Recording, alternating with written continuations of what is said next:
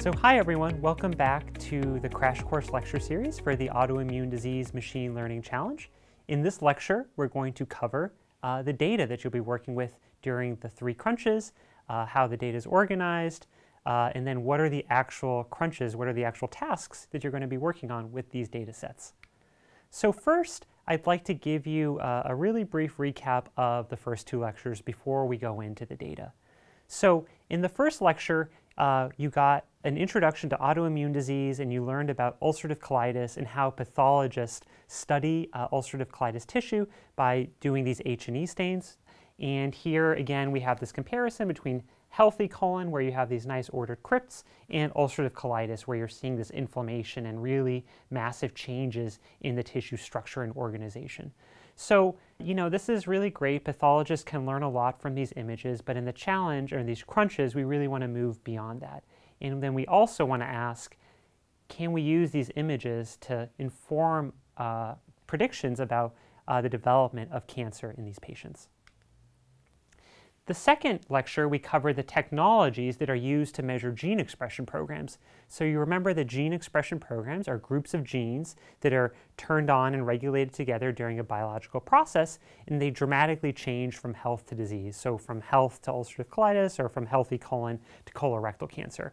And then we've also introduced three different technologies to profile these colon tissues. There are these H&E stains that pathologists use, and then there's the spatial transcriptomics measurements where we can profile hundreds of genes at a time while maintaining spatial information. And then there are these single-cell RNA-seq or single-cell transcriptomics measurements where we're measuring thousands of single cells and getting gene expression for all 20,000 genes, but we lose the spatial information. Okay, so that's a brief recap of what you've already seen. And now let's go into what data you're going to be working with. So we'll talk about the clinical samples that we're working with and the data that's derived from them, from them. And then finally, we'll go into the three different crunches. So first, the clinical samples. So the collection of the clinical samples uh, from ulcerative colitis patients was spearheaded by uh, Dr. Ramnik Xavier, who again is one of the organizers of this, of this challenge, and also uh, with help from Dr. Angela Shih, who is a pathologist at Harvard Medical School and Massachusetts General Hospital. And they collected eight tissue samples from patients with colon inflammation. So here we're showing again non-inflamed colon and inflamed colon. This is the view from a colonoscopy.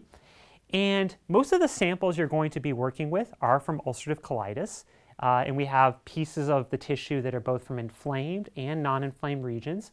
We also have a few samples from a more mild form of inflammation called diverticulitis. Um, we provide these samples because there's less change to the colon spatial organization in diverticulitis. So this is a good thing to compare to when you want to think about what healthy colon looks like versus what inflamed or heavily inflamed colon looks like in ulcerative colitis. So this is a good point of reference when looking at the changes in spatial organization as inflammation increases.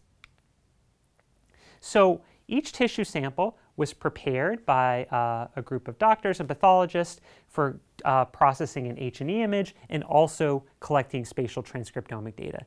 And for each tissue, uh, our pathologist, Angela Shih, um, looked at uh, the tissue and the H&E stain and diagnosed the disease type and how severe it is, and also looked for evidence of dysplasia, which you'll remember is a sign of precancer. It's these early abnormal growths in the epithelial cells. So here's the tissue processing pipeline uh, that each of these samples went through. Uh, the, this is work that was done at the Broad Institute by Åsa Segerstolpe and Crystal Lin. And what they did was they take the colon tissue that's been taken out of the patient and they chop it up and they identify the different layers of the tissue. Then they embed the tissue in paraffin.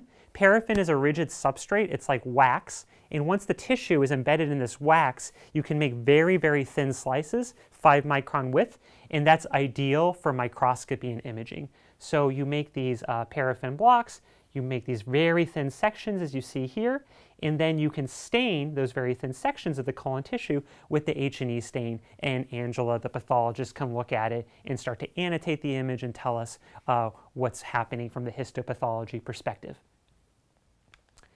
So here are the first four of the eight samples you'll be working with. These are the H&E images of ulcerative colitis samples, an inflamed piece from patient one and a non-inflamed piece from patient one, in addition to diverticulitis samples, which look a lot more normal in terms of the colon tissue organization. You see clearly all the layers and not really evidence of uh, bad inflammation. And then here's the next four tissue sections you'll work with. Um, these are all ulcerative colitis uh, patients, an inflamed and a non-inflamed piece, and then two other inflamed pieces. And then uh, importantly, uh, when Dr. Angela Shih was looking at this sample, uh, she spotted that this patient has dysplasia, which again is a mark of precancer. So let's look at that H&E stain a little more closely. Um, so just to remind you, uh, there's a continuum of cancer where we go from normal colon mucosa to dysplasia, which is these abnormal growth of epithelial cells, all the way to carcinoma, which is the colorectal cancer.